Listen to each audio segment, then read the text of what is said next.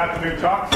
So the, the first speaker, I'm pleased to introduce uh, Shang-Hua Teng, uh, professor uh, and chair at uh, USC. He'll talk about uh, smooth analysis, you know, the last half decade or so.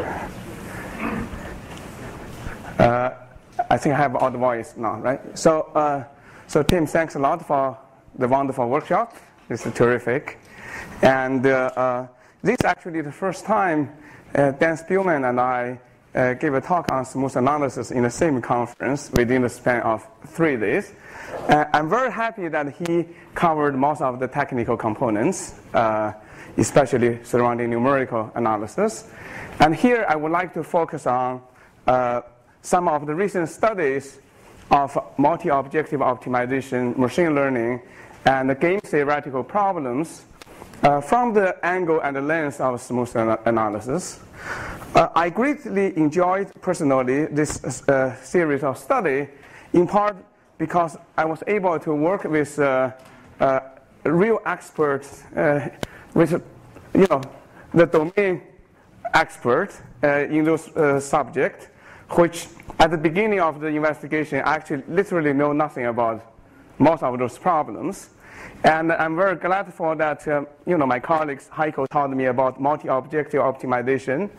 Uh, Adam and Alex, who is sitting somewhere, uh, it, it, it, taught me about uh, uh, PAC learning, machine learning. And uh, Chen and Xiaotie then taught me about game theory. And of course, throughout, Spielman has been teaching me everything. Um, so, uh, to continue the discussion of the theme of this workshop, I would like to start a little bit slower, uh, give me some chance to, for discussion, and also give you some chance to get used to my accent. So hopefully, when I reach the technical part, uh, you don't have to error correct me that much on my English anymore. So, so clearly modeling the uh, uh practical behavior of algorithms and also the practical difficulty of problems has been a challenging problem. For example, this paragraph uh, uh, come out from a, a, a, writing for NSF report uh, by the leaders of uh, uh, my field, theoretical computer science, in 1999, uh, beautifully illustrated the challenge. And it's actually also highlighted, for example, the simplex algorithm and simulated annealing as two of the practical algorithms which could potentially inspire uh, more rigorous analysis from a theoretical angle. And it also highlighted in blue, for example, the importance of uh, experimental work to the theoretical modeling and development. So it's a very, you know, it's beautifully written uh, paragraph, and the document is equally nicely written. And uh, So, so the, the, simple, uh, the linear programming mentioned in the paragraph uh, is something we all are quite familiar with. That is, uh, we are seeking to maximize or minimize a linear objective function subject to a set of linear constraints. ax is less than or equal to b. And when the linear constraint is feasible, then the region will be a Pauli, uh, uh, a convex, uh, convex set and uh, so, uh, so, so, the, the standard simplex algorithm or approach essentially takes two phases. In the first phase, it essentially tries to determine whether the region is feasible or not, or is unbounded towards the direction of your direction of optimization, because you will have infinitely good solution. And, and, or if you decide not uh, unbounded or infeasible, it will actually return an initial solution on the exterior of this polytope. And in the second phase, it apply a standard local improvement algorithm or locally greedy or local search procedure and essentially continue to improve the objective function. And the nice thing is that due to convexity and linearity, this local search will always end in a global solution, globally optimal solution. Right? So, so this approach has been uh, proposed you know, more than half century ago and has heavily used in financial world and industry. And uh, it has many interesting theoretical uh, features. So for example, in 70s, uh, a series of work essentially illustrate that almost all the pivoting rule for the simplex algorithm runs in exponential time in the worst case. So almost every design, they have uh, one family of uh, worst case uh, linear program, somehow defeated polynomial uh, convergence. And uh, then at, at the early 80s, uh, by assuming, for example, the matrix A is centrally symmetric, like Gaussian matrix, the average case analysis has been conducted to illustrate that you know, if you have such a random linear program, then uh, the simplex algorithm, at least some variation of it, some versions of it, will run in polynomial time. Right? So, so it has sort of interesting features, you know, the, the, the worst case feature, practical feature, and average case feature. Right? So, so one of the main challenge uh, in modeling, you know, the practical performance of algorithm is uh, sort of data modeling. How do we model data? How do we model real data? So this, you know, seemingly intuitively simple problem, you know, everybody feel I understand my data. And suddenly when you try to model it, this seemingly simple problem become extre- extremely challenging and often impossible to do, right? So part of the reasons of this challenge come from the fact that uh, most algorithms are designed to handle many data, not just individual pieces of data. On the other hand, you know, individual users are interested in the performance, whether it's time complexity, whether it's quality of the algorithm, you know, on the data that they care, that they encounter. Right? So this discrepancy actually are often the source of the difficulty. And more than that, the distribution or the subset of the instance occurring, you know, is often vary from user to user, right? So, you know, we Chinese have an idiom. Uh, in Chinese, it's a 众口难调, meaning it's hard to cook for many. Well, verbally, it means that uh, it's hard to design a taste that make many more happy, right? So so here, essentially, it's almost like same uh, scenario that is there's so many individuals, so many angles, and, uh, and theoretically, how do we come out one way to somehow to make everyone happy? It's, you know, it's virtually impossible. So, uh, so traditionally, you know, theoreticians recognize it's virtually impossible to make everybody happy. Let's just choose one, at least objective that we can conduct meaningful in our mind, insightful for at least understanding algorithm. So that is a worst case analysis.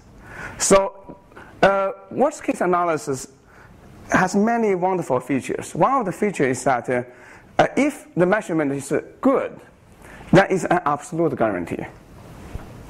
Right? Doesn't matter what input you receive, it will give you a virtual absolute guarantee. but on the other hand, one of the features is that it can be conducted without understanding the data because it's a virtual guarantee. So just like, you know, some tourists come here and uh, want to go to Yosemite and say, uh, how much elevation should I prepare to go up? Then you answer 29,000 feet, right? Because that's the highest peak on the earth. Clearly it's a virtual guarantee. And the person says, oh, good. I'm going to Oregon too. How about Mount Hood? You said 29,000 feet. Right? It's an absolute guarantee. But on the other hand, you really don't need to care about what they are need for that particular instance.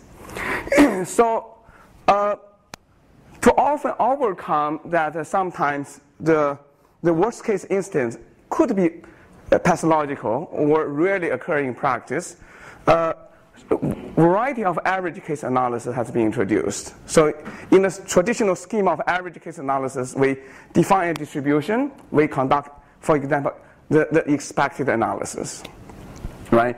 So there, the challenge, again, is that how do we design a meaningful distribution that A is subject to mathematical analysis and B is close to practice, right? This trade-off is actually very challenging.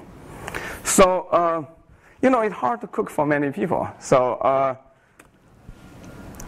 so, so our colleagues in numerical analysis and in op- optimization, you know, op- operations research, as you know, Dan's talk uh, illustrated, they often conduct a slightly variation of uh, uh, analysis, which is slightly more instant-based. So in particularly, for example, they often study the dependency of the performance and uh, something called condition number. So somehow you want to give input a uh, another quality measure, and somehow you relate that quality measure with uh, the performance. So for example, the precision needed for Gaussian elimination uh, depend upon the, you know, essentially logarithmic of the condition number of all the principal minors uh, you see during the elimination. For example, the conjugate gradient method for solving symmetric positive definite matrix, the number of iterations depend upon logarithm, uh, square root of the condition number of the matrix. Right? So they have this type of language.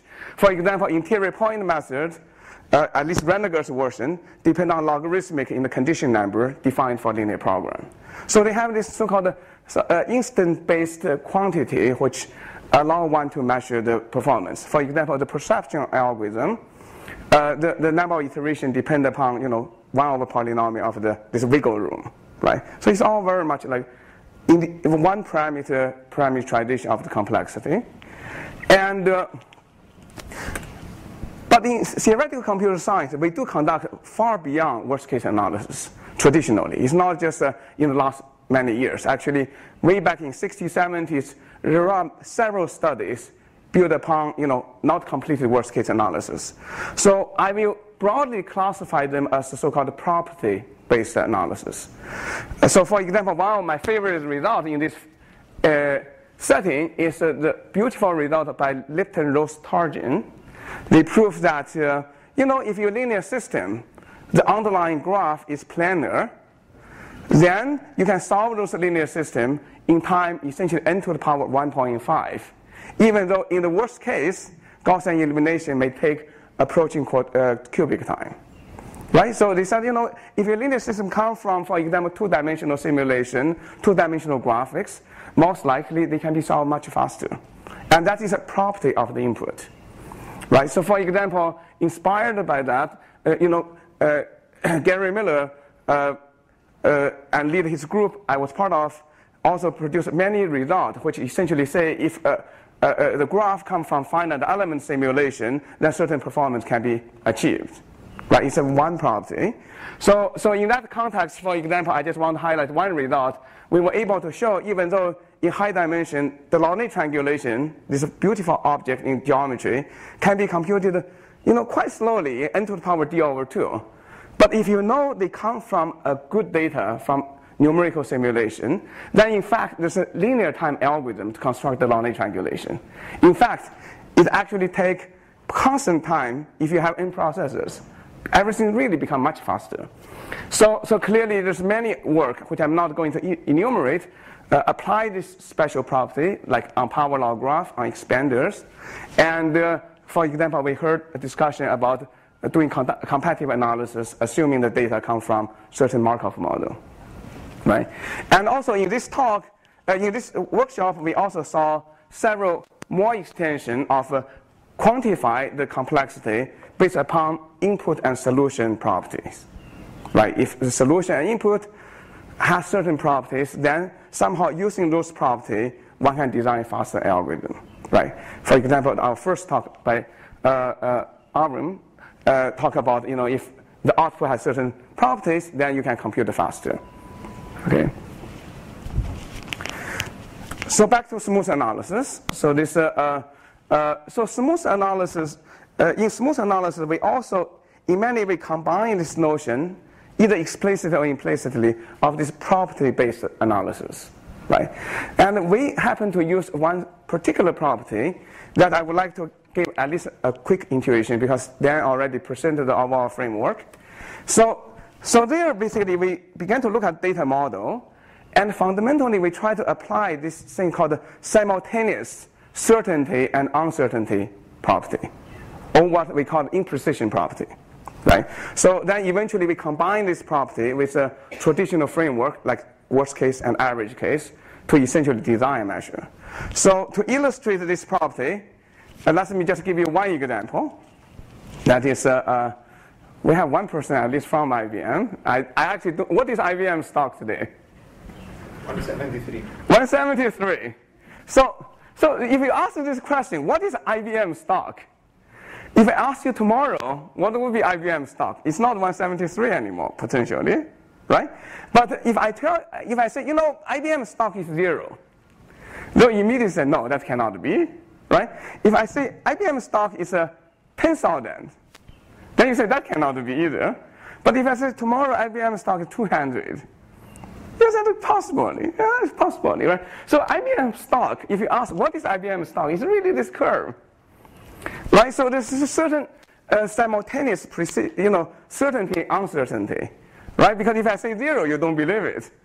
And if I say 200, you say it's possible, right? So we are not talking about a single number. It's not a single input. So, so one possible way to think about those things is that uh, IBM stock is defined by two numbers. One is, is intrinsic business value of this company. And then the second part is that when the market take a measurement, the market induce an imprecision. Right, so it's really the imprecision come potentially come from market, and the reason we said it's not zero is because there's intrinsic business value. So so this seems to be, you know, if you ask many people, you said that IBM stock is a, a number plus noise. Most people say, yeah, that sounds about right. Right, because the market make a pre, uh, measurement. In many ways, many practical data come from measurements. And there's often imprecision in the measurement, but there's a fundamental value. Right, so, so, so as a first cut, a first order approximation, one can often write certain practical data, you know, a piece of data plus a potential noise.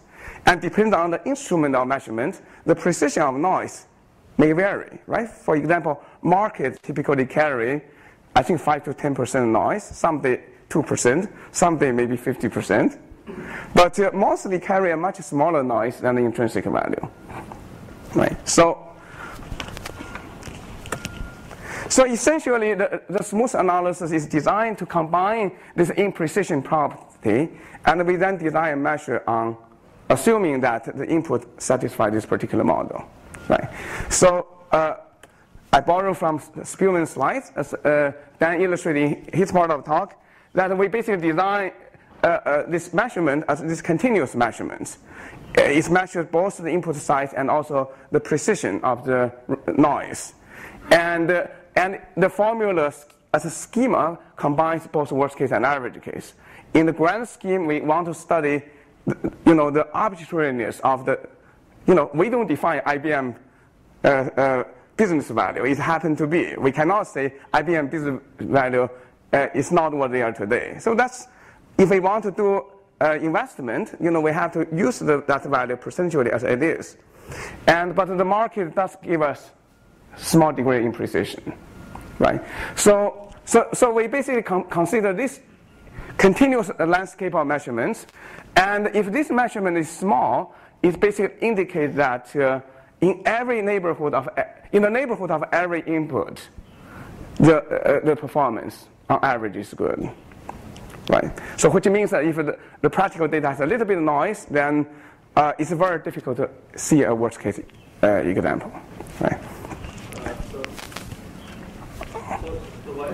you think Oh, that's because very often the, the, the type of problem we study, uh, the, the data, you know, uh, there's an invariance when you scale the data. So, uh, you know, uh, but there's many refinement one can put in. Yeah, yeah. So,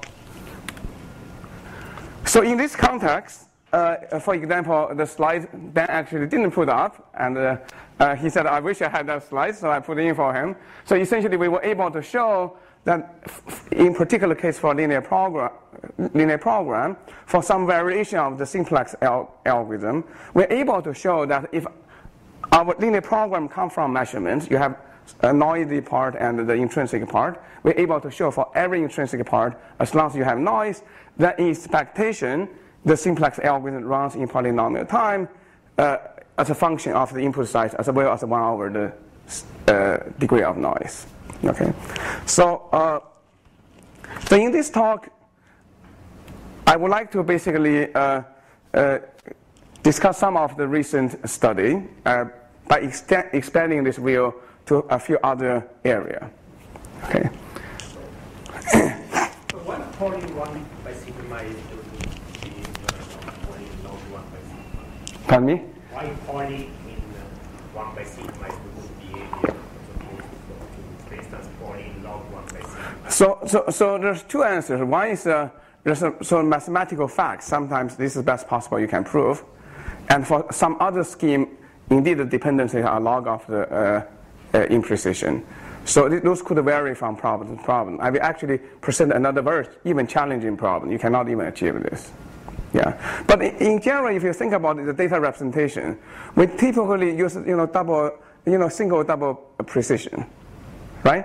And nowadays our input size is you know a billion, for example, you know few hundred million, and normally currently we are using you know about uh, a hundred bits, and uh, you know that's almost like constant times log n. So that could give you the noise level there, and in such a result, it does imply uh, polynomial assumptions. Yeah. So, so I would like to also use each of those examples to highlight certain facets of smooth analysis, right? So for example, in the machine learning case, I would like to discuss where do we study noise. And in the multi-objective optimization, I would like to talk about partial perturbation models. So, so this is one of the uh, area probably many of you know far more than me, and because I never took any classes in machine learning, and Adam and Alex gave me quick lessons on the subject. So, uh, uh, so this year's Turing Award winner uh, Valiant introduced uh, this learning scheme, essentially saying that if we receive data from certain distributions, uh, labeled data, then we would like to create an estimator which hopefully will be accurate enough to predict the future data if it's drawn from this distribution. So that's the sort of the high level uh, idea of the scheme. And uh, um, so there basically in the learning, it is quantified into an algorithm and data collection. And the complexity is basically how many data you need to see in order to get accurate enough. Right? So for example, we often say uh, a polynomial time learning algorithm is the one that by looking at polynomial amount of data, drawing from this distribution, we, have, we can get reasonably close, for example, 99% close to, to the future evaluation of the function. You know, the, uh, those estimate the future disagreement of the function. Okay, and there's many subtleties in the framework. For example, in Valiant's ori- original framework, he assumed that the, the original function comes from certain family, and he's also learned from that family. For example, original function comes from decision tree, you're learning from decision tree or some other re- representation. And since then, those framework has been expanded. For example, one particular one is called agnostic learning, namely, uh, you don't even assume the original function comes from a particular family, but you are learning from a particular family. You want to do the best possible from this family. Okay? So, but, but the language is very similar. You're, draw, you're receiving data, and then you try to build a, a, a, a classifier. You want to be as accurate as possible. Okay? So, so when I was began to talk with Adam, he, he basically illustrates the following. He said that, you know, if you think from information perspective, if you see many, many, many, many data, you should be get absolutely close. The really challenge is the trade-off between the computational limitation, how much you can do, and how accurate you want to predict. Right? So it's this fundamental trade-off. And uh, so essentially, if we ignore computation, by seeing a lot of data, we should be able to go as very accurate. But on the other hand, uh, uh, when we limit the computation, he mentioned that even the following simple example, we don't know there's a polynomial time algorithm. The following simple example is that imagine you have Boolean function, even just exclusive OR of a few variables, the parity of few variables. And suppose you were not told which variables are the featured in this function. Suppose you even only have log n variables.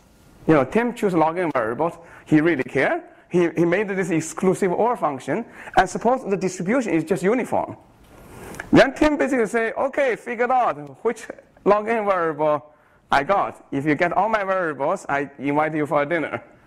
And, and Adam basically said this so far the best algorithm is n to the power log n. It's not even polynomial time.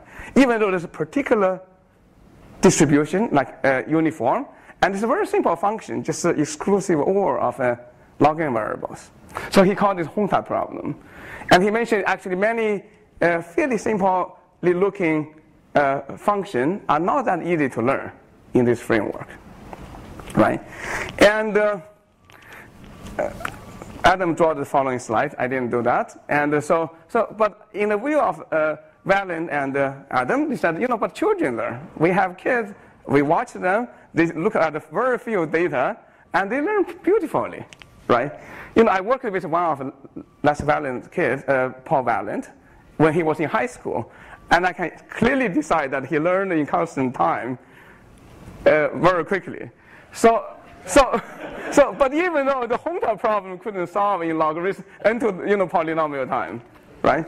So, uh, so in this context, you know, Alex, Adam, and I uh, began to look at some of the partial explanation, and I'm not sure that we get everything to the precision or uh, right intuition about this problem, but at least we feel there's one particular result, uh, however small they are, they could be quite interesting, right? So, so, so, so we basically considered that imagine that your distribution has some fundamental noise.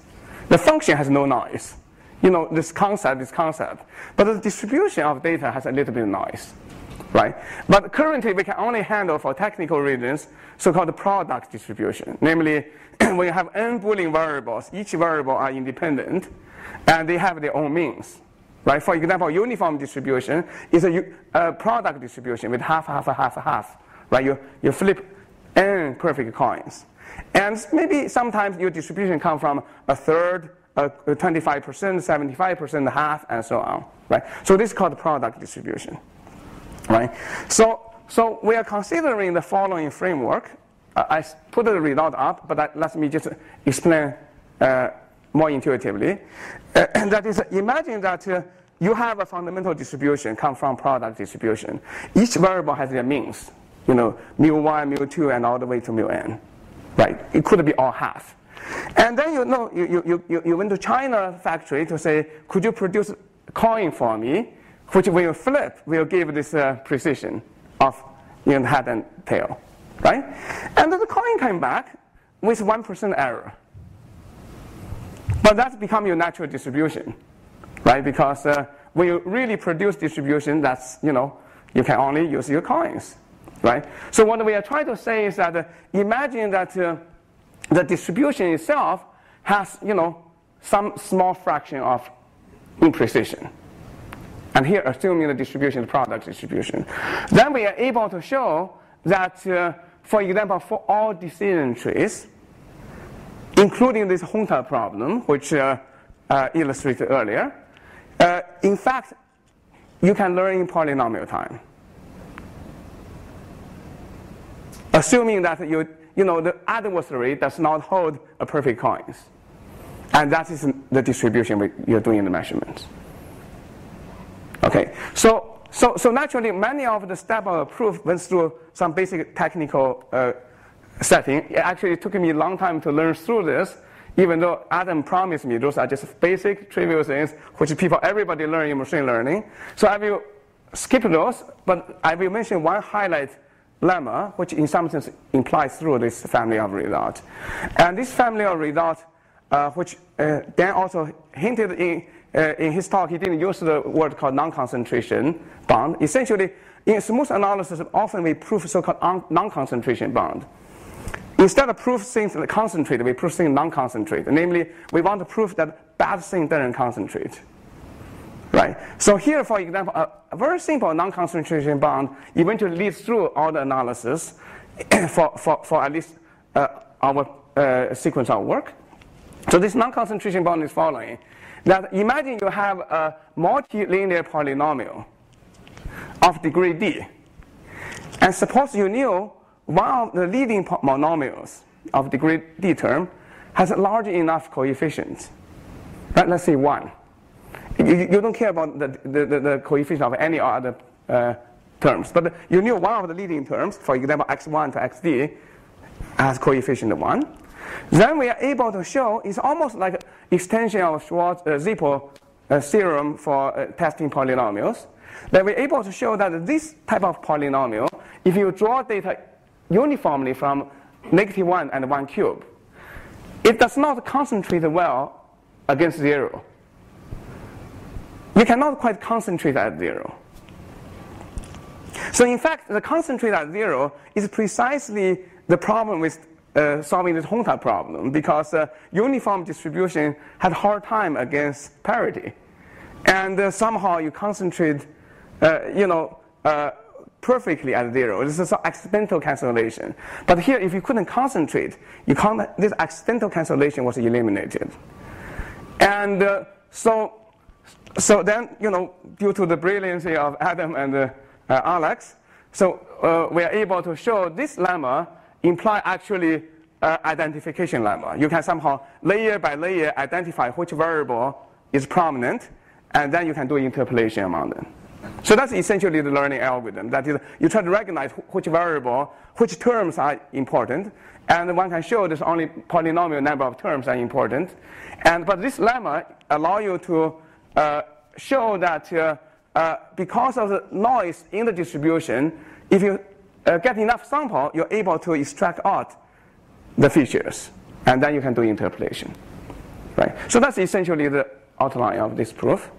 And uh, so here basically said, independent of what type of uh, Boolean functions we study, as long as in product distribution, if there's small degree precision, imprecision, then suddenly this framework of learning actually can be conducted in polynomial time. Tim. I mean, to, is there ever an even stronger result which would say you, you can handle anything away from half? Um, it seems like I have a conjecture at the end, so I will I'll address back to this issue. It's actually kind of cool, small technical conjecture, but it could be quite fundamental, lead to other analysis. Yeah. So so, so, so by doing this, we actually achieved a lot of bound that can be achieved by membership queries. So essentially, a lot of place by using much powerful learning mechanism you can learn. And here we basically, in this traditional, you know, receiving data framework, we're able to accomplish like certain aspect of agnostic learning and so on. Okay, so so that's basically this sequence of work. And I mentioned that the only one uh, first part of result. So, any other question up to here before I switching gear just a little bit? So, so, so, so on Monday, when Dan was giving his talk, he said, you know, clearly there's a lot of limitation of smooth analysis, in part because, you know, it's just a first order uh, abstraction of some phenomena. And naturally, in order to be more powerful as a mathematical tool, we would like to uh, have better understanding when the limit, perturbation are more limited, right? But in a lot of settings, we are not able to somehow carry through. For example, one area he really wants to do is uh, to do zero preserving perturbations. And so far, we have very limited success. And uh, so here, basically, I will talk about one particular area. Somehow, partial perturbation uh, is sufficient to derive polynomial bound. Okay, so this is in the area called multi-objective optimization. So, you know, in computer science, we, stand, we traditionally study optimization. Like NP hardness essentially are, are de- defined either for de- decision problem or optimization problem.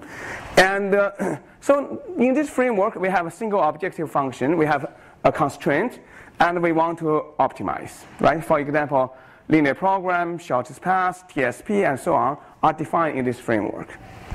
But in practice, often we consider uh, more than one objective functions. Right? Just that's the nature of what our consideration. So for example, if you travel from Europe to here or from Asia to here, you have to consider buy, when you buy ticket, there's multiple parameters. You know, you want to minimize cost, you want to minimize delay, you want to minimize the number of hops. Right? When you buy train ticket planning, sometimes you do that too. And when you do routing on network, you may simultaneously want to minimize the, the, the, the length of message and also increase the chance the message will go there in case of something, right? So, so the reliability, for example. And very often, you know, we consider multiple objectives. And uh, so this is often called multi-objective optimization. And uh, in abstraction, it means that we have constraint and we have several objective functions that we want to optimize. Right? So, so the question is, uh, how do we do this? And very often it's very difficult, right? Because uh, the objective function may not all agree, and you have to make trade-offs. And very often we have very incomplete information about trade-offs, right? So, so traditionally, uh, as a, what I call mathematical engineering, and we try to help the decision maker to simplify their task. So one of the way to simplify their task is that we eliminate any potential solution that they don't care. Absolutely, under no condition they care. Right? So we try to give them a supporting set and they can choose from. Right? For example, whether you go, want to go to be a baseball player or you want to be a professor. We give a very few choices. Right? So, uh, so, so one notion here is so-called Pareto optimal namely build upon dominance. For example, if you have two objective functions and you want to minimize, under no setting you will prefer y over x. Right? Because x is better than y in every direction. Right? So that's what you call dominant. And in general, basically, you can label the set of points or feasible solution that cannot be dominated by nobody. Right? So this gives you so-called Pareto set.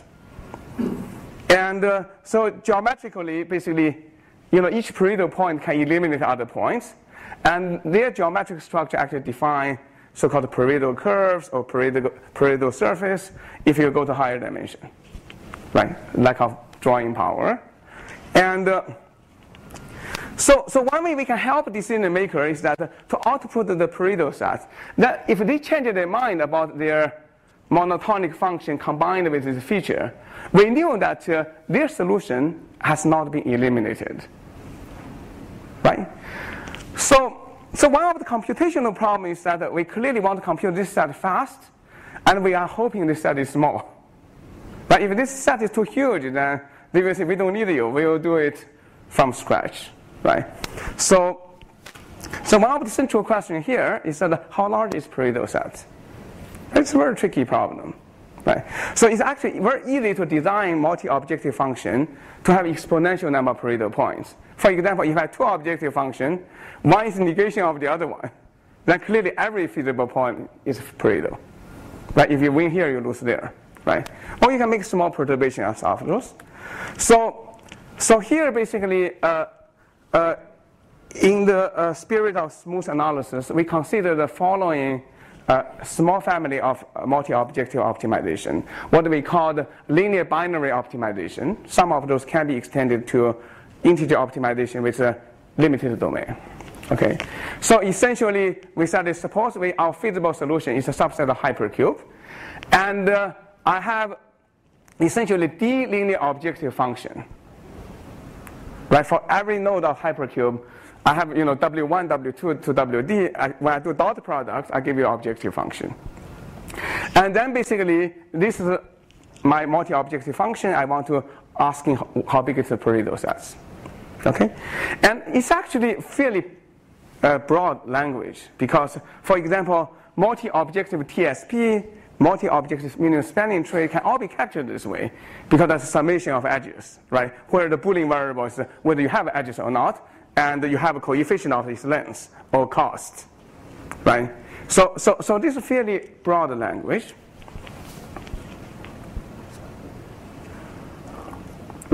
So in the worst case, as I mentioned, it can be exponential.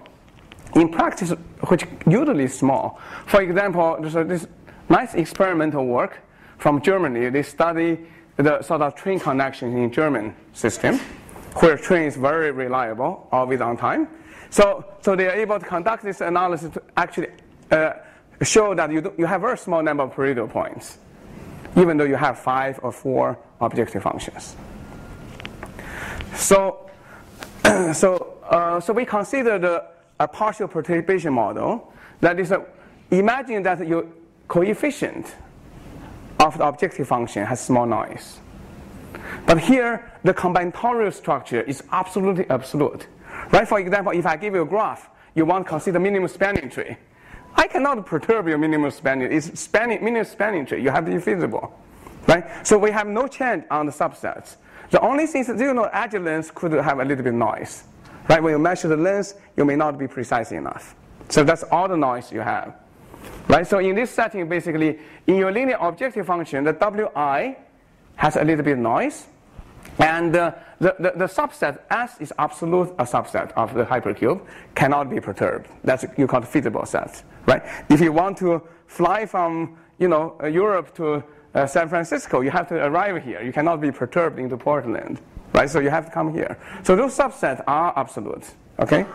So so we are able to show, for example, uh, under the, this small degree of noise, if the objective function is only constant, then we, we are able to show that the Pareto points actually is polynomial. Right? So I'm not going to present any proof of this, nor this bound, because this bound is the most embarrassing bound I ever proved as a constant. It, it actually a, uh, has a d factorial in the exponent.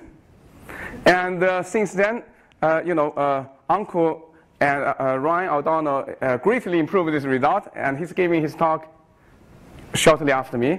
So I will completely leave to Ankur to, to argue for whether it's practical or not. And my bound is not 2 to the defect, you know, it's n to the d factorial. So, uh, which, is, which, is, worse, d factorial or 88? which was your previous embarrassment? Yeah, I think I'm probably more embarrassed by 88 actually. The d factorial, at least in my head, it has short connotations. So uh, they are slightly embarrassing.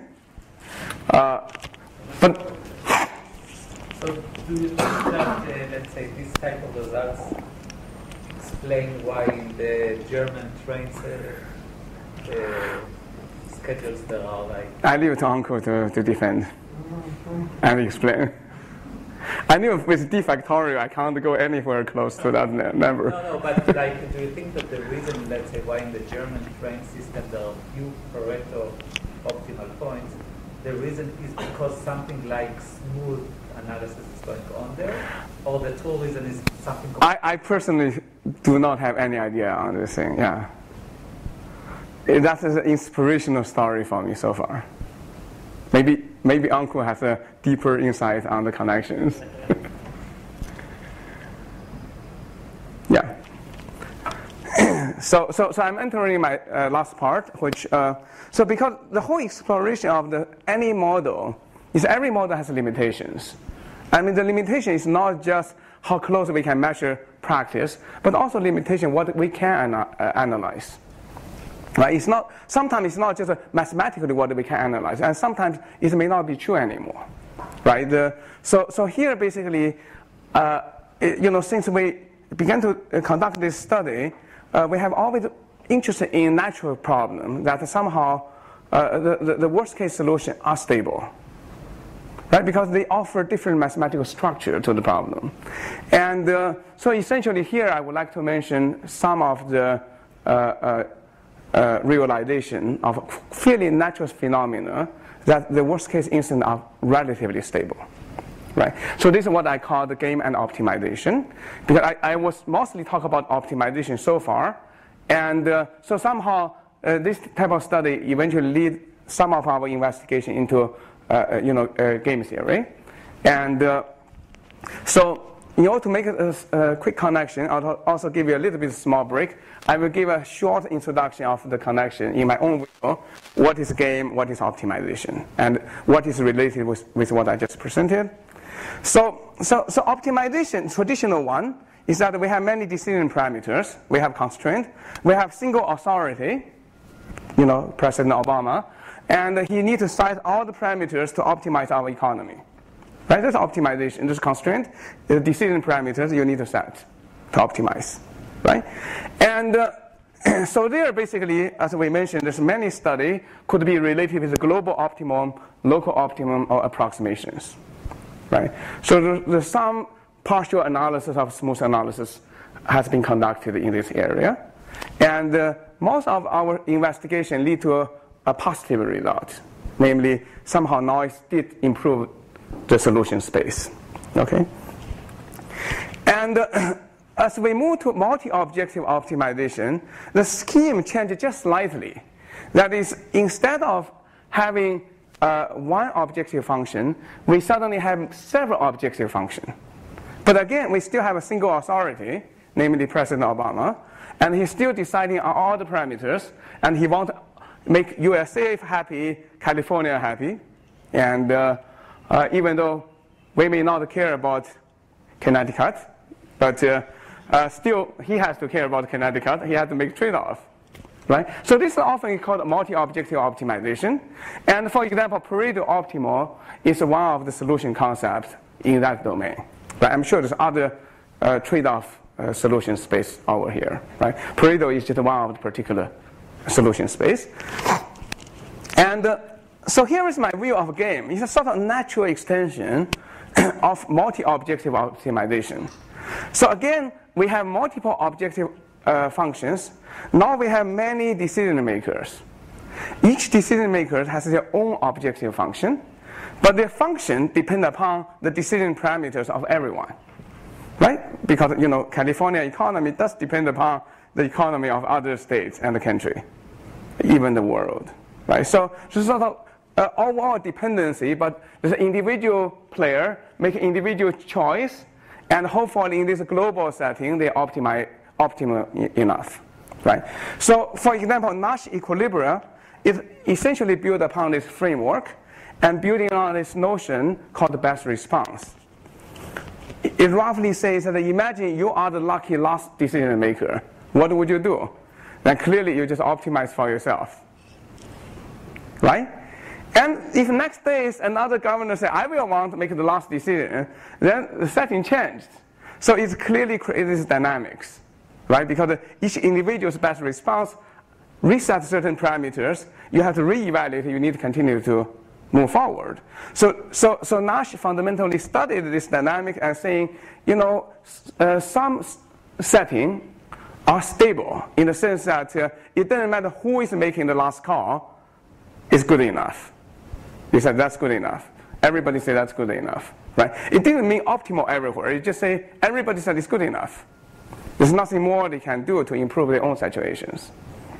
Right? So that's the sort of intuitive notion of Nash equilibrium in the context of optimization. It's sort of many individuals, many objective functions, and they could have, you know, trade-off among individuals. Right?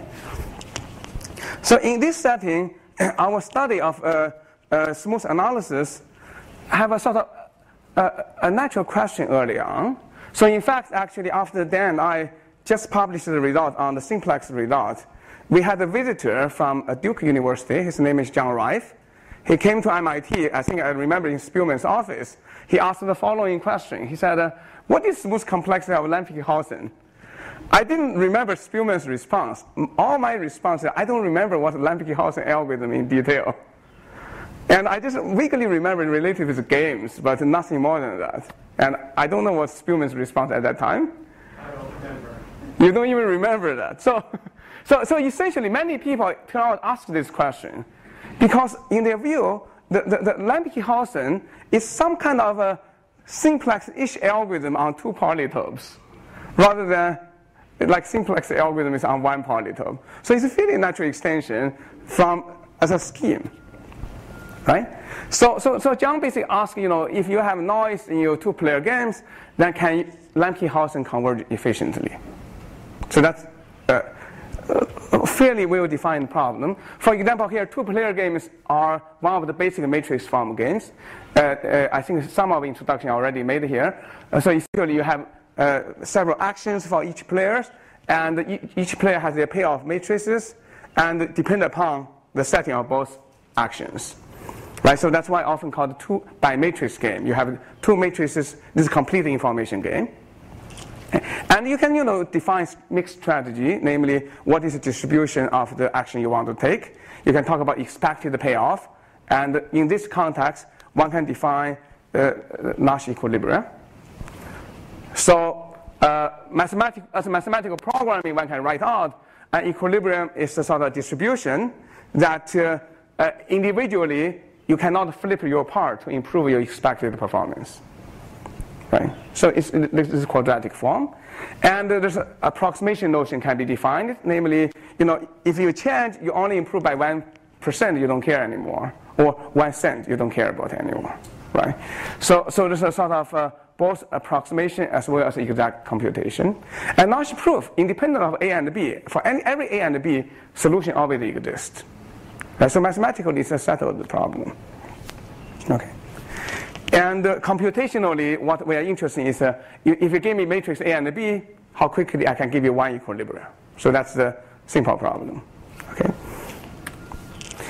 And a related setting is uh, in some basic economic setting. For example, in the simplest setting I learned, is called it is exchange economy.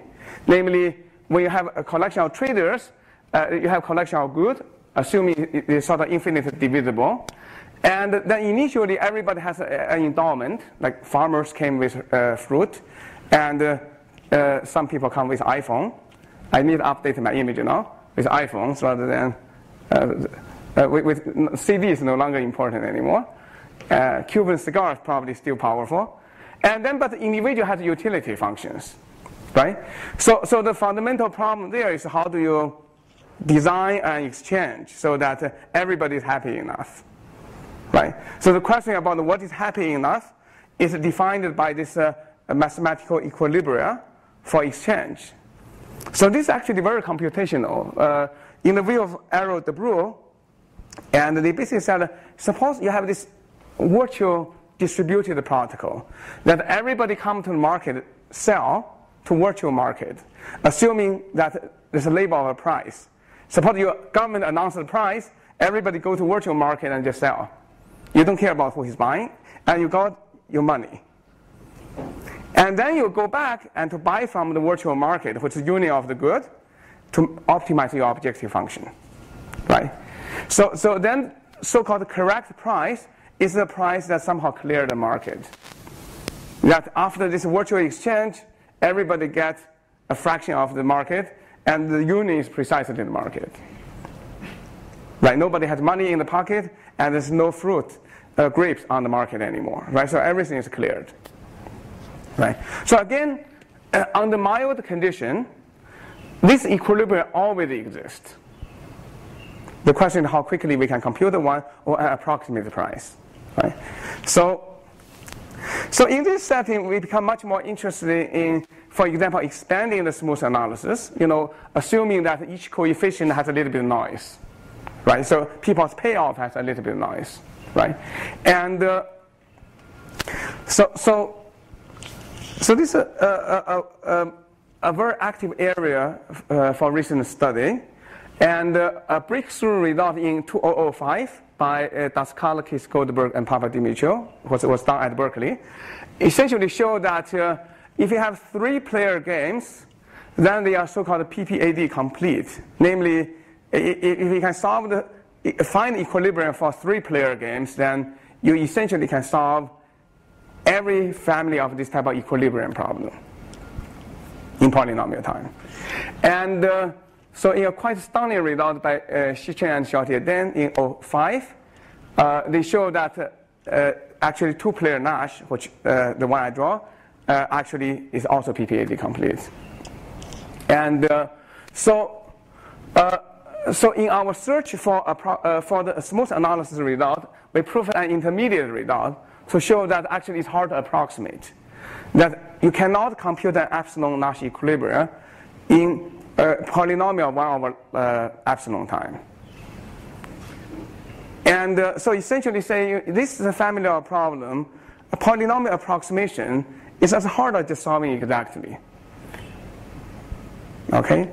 So, so this last uh, theorem somehow settled the smooth complexity and gave us evidence that this is actually a challenging setting, that the worst case example are very stable. It's actually said that uh, the, uh, the two-player game doesn't have a smooth polynomial complexity, provided the P, uh, PPAD is not in RP. Because uh, if you perturb a two-player game a little bit, you get an approximate solution if you solve exactly there. And since you couldn't find an approximate solution, which means that the perturbation still the hard instance. Right? So, so somehow the connection between approximation complexity and smooth complexity here uh, uh, and the hardness of approximation leads to a proof without doing probability that uh, you know the smooth complexity of two-player game uh, it may not be in, uh, polynomial. So it's different from the uh, simplex algorithm. Okay, so this gives us a, some quite natural setting. Uh, somehow, it's a very natural problem. The worst case instance is highly stable without uh, conducting a probability analysis. It just, you know, the sequence of approximation result implies that you cannot somehow perturb your way out. Right. So this can be also extended to the, the uh, exchange markets. Okay. So, so, so within this context and also optimization, and uh, uh, the PPAD basically, according to uh, Papadimitriou, it could be a sort of uh, a picture in between P and NP, and uh, uh, Megiddo actually has a result to show that it's unlikely they are the whole NP because uh, if you have NP complete problem there, then I guess co-NP equal to NP, right? So, so which means unlikely, unless certain miracle in complexity landscape, it's unlikely this will be the entire blue. And uh, so PLS is another family. Again, it's unlikely to be uh, NP complete. Uh, otherwise, NP is equal to co-NP. Okay, so so this blue landscape is where we actually had some limited success in smooth analysis, and this area is one which we have totally no success in smooth analysis. So somehow, the mathematical structure here must be sophisticated enough. Somehow, uh, there's a lot of fractals in the in, the domain of solution, and when you perturb, you continue to stay in the hardness instance. So, so, so uh, I think like Michael, I'm listing two columns. So here is a local search and fixed point computation, and uh, so here is my sort of frustration on one hand, and the other hand, we are celebrating certain results. For example, in linear program, uh, not only the world pushes it into P, a weakly polynomial, we're able to conduct smooth polynomial analysis. And, uh, but in the uh, game setting, the, the, the, parallel problem, the two-player game, uh, uh whether it's in a, a, smooth model or in the worst-case model, they both seem to be hard. And here, basically, for the uh, local search, there's a trivial fully polynomial time approximation algorithm. But on this side also, it seems to indicate approximation is hard, right? And uh, the one which makes me feel this side probably is harder than this side is that the local search is very intuitive, right? Because we have this landscape like mountains. We want to go down. We always know somehow there's a, somehow we feel we understand topology here. But the PPAD I guess it's only intuitive to Christos Papadimitriou and a few other people in, in the field. I often get very confused in, in this landscape. And uh, so we, we did ask questions across this landscape is, uh, uh, is fixed point fundamentally harder than local search? And this still unsettled the problem, although there's one small result we were able to obtain a few years ago. So asking in the black box model, who is easy. Namely, you can query for, for fixed point or you can query for value for local optimization. So there's an early result by Aldous in 83 showing if you allow randomization, then local search can be sped up. Even though deterministically, worst case, uh, fixed point and uh, local search has similar complexity. They seem to be all behave very similarly. But if you allow randomization, Aldous show that you can dramatically reduce the search space for local search. But on the other hand, we are able to show randomization does not help fixed point computation.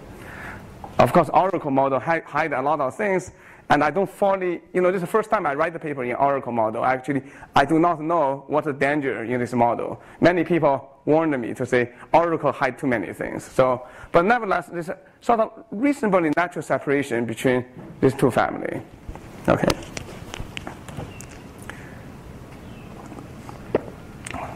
two minutes, uh, three minutes conclude. Okay.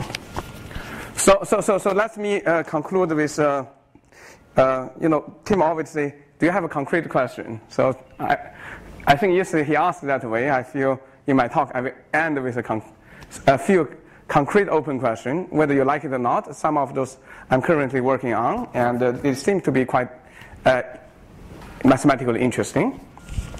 So one question related with the uh, uh, this little non-concentration uh, bound.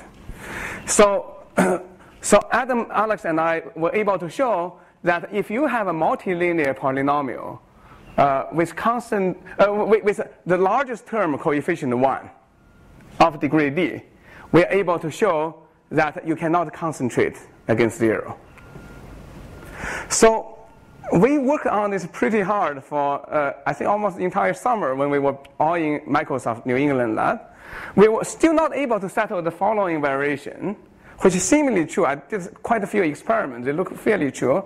That is, imagine you have a, a multilinear, which is critical. Multilinear is not a polynomial. Multilinear polynomial of n variables of degree d, and the constant term is 1.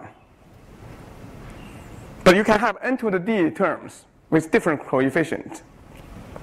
And we would like to show that if you draw uniform random from 0 and 1 for each variable, you cannot highly concentrate it at 0. So clearly, when degree go up, you will be able to concentrate, right? Because the function x1, x2 to, uh, times xd highly concentrate at 0. But, uh, uh, but if you minus 1, you can get x1 minus 1, x2 minus 1. So that's highly concentrated at 0.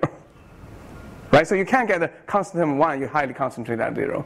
But currently, if we limit the degree and enforce the multilinear, and our strong belief is this cannot be highly concentrated at 0. And uh, uh, very often when I'm flying around, when I'm cooking in my kitchen, I think about this conjecture. Uh, uh, I think it's true. It may lead to some other algebraic analysis. And uh, so, if any of you has ideas or solve this problem, I will be very happy. So, uh, so, so, so, so this is uh, often when we conduct a smooth analysis, we somehow eventually reduce to some kind of non-concentration setting. Sometimes it can be complex, but in this particular case, uh, th- this particular conjecture was derived initially when we tried to conduct the agnostic learning setting. And, uh, and, and, and uh, Adam basically said if this conjecture is true, then he has a proof. But eventually, he got a proof without this conjecture. So, so somehow he went around this conjecture. He, he proved his result. And, uh, uh, but nevertheless, in my, in my head, it seems to be very clean algebraic problem. Are you willing to accept a polynomial in n term in front of the? Yeah, I, am willing to set a polynomial in n. Here, I, I don't want to have polynomial in anything d in the exponent. You can even say cubic. That's fine too. So you can see I choose zero small apostrophe means to concentrate at zero, right? So, so, so I, am I'm able to give a weaker polynomial floating anywhere. But uh, uh, the dependency I want, so essentially my d is roughly log n. So, so basically you can think about d is log n. Right, d is log n. Then you can, uh, I, I'm happy you put in polynomial everywhere. And, uh, but the, on the exponent, I don't want you to have any degree of 1 over d because that's trivial and also uh, essentially not very useful bound. But, but without depending on d seem to be the, this linear function, right? Multilinearness somehow. The linear function lead to that. So, so this is one of the sort of hopefully clean enough, simple enough conjecture. And uh, so the second uh, set of conjecture is uh, uh you know, since uh, uh, Xi Chen and Xiao Deng introduced me to game theory, uh, I began to read a little bit more of the papers in game theory. In fact, one of the first papers I read is from Tim on the potential game. And uh, so at that time, I was thinking, what smooth analysis can be done for a potential game? And here is actually one very simple conjecture, which is still open. And my postdoc, Jialin, and I are working pretty hard in the last period of time. We still didn't solve this problem yet. So that is a, there's a very simple game that in my head, the simplest congestion game called max cut game. Okay, so here is max cut game. You have a complete weighted graph. the wij. And uh, so, so that each individual is, a, uh, you know, this is a part, uh, this is a game, right? So initially, suppose you have a partition of left and right. Then each, each individual, you ask, would you like to go to the other side? If it, in, it increase your cut, suppose, you know, the cut is uh, the, uh, the edges, the weight is an indication how much you don't like people there, right? Max cut means that you want to go to a party, maximize the cut, which means uh, maximize the dislikingness of the other party. Right? This is a natural game, and it's a potential game. So this you can easily show that every such move, there's a potential function, will drop exactly same as your dislikingness. Right? So this game has to converge because it's a potential game. And there's a case to show uh, it may take an exponential number of iterations to converge. And here uh, I'm asking this very simple question. That is, uh, imagine the weight has a little bit of noise. Or even just random. Imagine the weight is random or not, zero, between 0 and 1, or in a smooth model with a perturbation. Uh, I would like to show that from any initial partition, this sort of uh, uh, response dynamics will convert into an equilibrium in polynomial steps. So you don't particularly care about the value of the cut that you get? No, no, I don't. I just this is a game, right? So if, you reach stability, I'm happy. So you get a half approximation. I, yeah, the, overall the dislikingness is not our problem. We just make sure each individual feel they're in the right party. That's all. Right? Each individual is in the right party. Cut, do you know? We don't know. Yeah, we don't know. So this is a very frustrating study so far, and but it seems to be a very simple problem, right? And this can be, for example, extended to some other uh, uh, similar game, like this is scheduling game or cost sharing game. I'm not going to get into detail, but they all have very similar phenomena. Namely, if you allow weights and they will converge, the clearly it's just zero one, you will converge in polynomial time because every step you will gain one. Right, it's polynomial bound, you will converge. Here I'm talking about the arbitrary weights from zero one. Okay, so again, if you have any idea, I'm happy to hear about it. If you solve it, I'm happy to hear about too. Yeah. This is the same as the local search Yeah, this is just local search, yeah. But uh, uh, after I read the Tim's paper, I said, this is a game. right, but this is exactly one of the local search, right? You're just swapping, right? Right, so the game just uh, uh, inspired more of my students to think about this rather than this optimization problem. Then none of my students want to work, work on it anymore. Right, so, but it, it is a local search in disguise, yeah, yeah. Okay. So, so, so, so, so, you know, as Dan said, you know, it's very hard to conduct smooth analysis for iterative dynamics. And uh, so uh, in a simplex algorithm, we are lucky enough, this simple geometry allows us to go through. And so far, the most complex simplex, uh, the, the, iterative analysis came from uh, uh Arthur uh, Manthey and uh, Heiko Röglin. They successfully, recently, to show Lloyd's K-means clustering converging polynomial time in a smooth model, right? So K-mean clustering is very uh, uh, uh, widely used uh, heuristic for data mining. That is, uh, imagine you have endpoints, let's say in some constant dimension, 50 dimension, and then you want to produce in K clusters. So you choose K centers, then, then you build a Voronoi diagram, everybody go to the nearest center, and then basically uh, you will recompute the center of gravity, uh, produce K more centers, and then everybody go to the nearest center, and you repeat this process. So Lloyd observed that uh, uh, this process is a potential local search. So I don't, uh, I, am not going fancy anymore. Here is a good audience. So this local search process, uh, you know, every time you update your center, everybody go with the closed center. And a potential function will uh, fundamentally reduce. And hence, you know, uh, after certain number of iterations, they have to converge because you have finite number of configurations, right? Exponential number, but finite number of configurations. So, so, so, so, so in the worst case, even in two dimensions, this takes exponential time to converge. And recently, uh, uh, uh, uh, this group of researchers show that uh, if the point has a small degree of noise, then the noise algorithm actually went down polynomial iterations. And uh, so there somehow they can overcome this uh, uh, uh fundamental challenge of uh, if you keep on going and uh, going down the step, you're losing your randomness. So they are able to have certain structured techniques for this particular problem to go through, right? So I was hoping that somehow those te- techniques can be applied to max cut game or scheduling games or other local search problems. Yeah. So, so, so essentially, the, the, the you know, analyzing the uh, iterative process and dynamics could be an interesting uh, direction of study because it will enrich our power to do probabilistic analysis. And uh, I think even in the days of average case analysis, these are also the challenging settings because, uh, uh you know, uh, when we look at a random variable, it's no longer random. It doesn't matter how long we look at them. Right? So it's a fundamental challenge in the iterative analysis. And so we would like to also sharpen our ability to prove the non-concentration bound, which could be a good technical direction.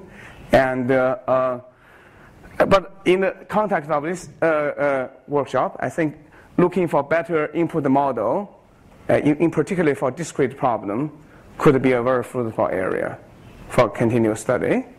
And uh, so with this, I conclude there. Thanks.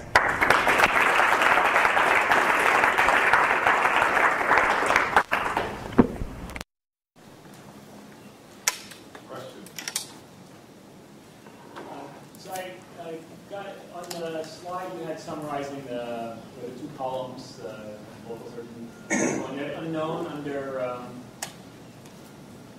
under uh, Nash equilibria for so what is the... On poly, without assumption of PPAD, what is polynomial or not?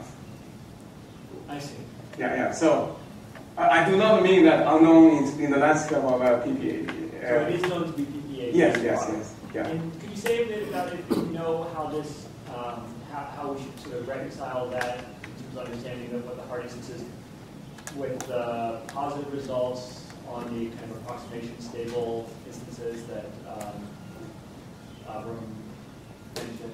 Right. So, so, so there, I think uh, first of all, uh, I think you, you can't get rid of the log n yet, right, on the exponent. First of all, right. So secondly, I think, uh, for example, uh, when we talk about the approximation scheme, uh, we have a different degree of uh, strength, right? A is the exact can be computed in polynomial time, and B is things can be computed in fully polynomial time, namely uh, for epsilon approximation, you only pay polynomial amount of epsilon, right? So then there's another tier, which we often call approx uh, uh, polynomial approximation, which allow the exponent to have one over epsilon.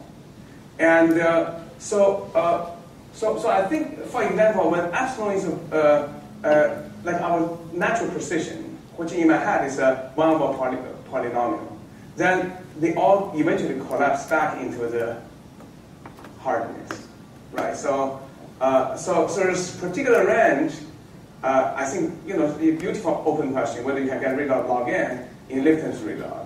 So uh, uh I think you know our characterization continue to zoom in to see are there any parameters can inject there. Yeah. Thanks. So that's a beautiful setting. Yeah. But the, the structure is clearly very complex. That uh, somehow this perturbation induced stability. I, I, I still fundamentally don't feel I'm understanding the situation, But, uh, but those proof indicate you know, you do have stable regions. Yeah. I really think you're sort of cheating by putting that in your program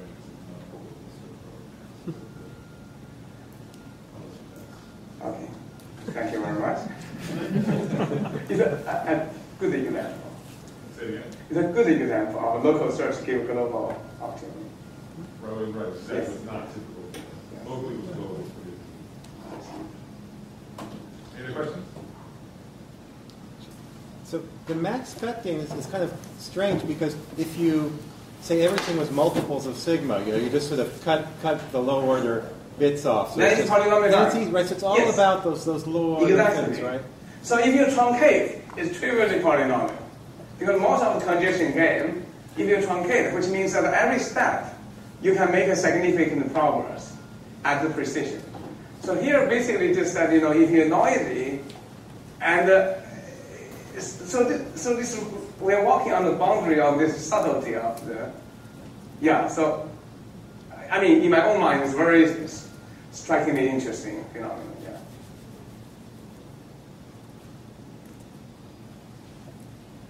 How important is the distribution of noise, for example, in that uh, learning example that you gave? I think we, ha- we are handling constant. Uh, uh, we, we are handling constant. Uh, you could go with, with one over log. Uh, like other- different types of Alex, we cannot go to one over root n. Root n is bad, right? So, so there's certain.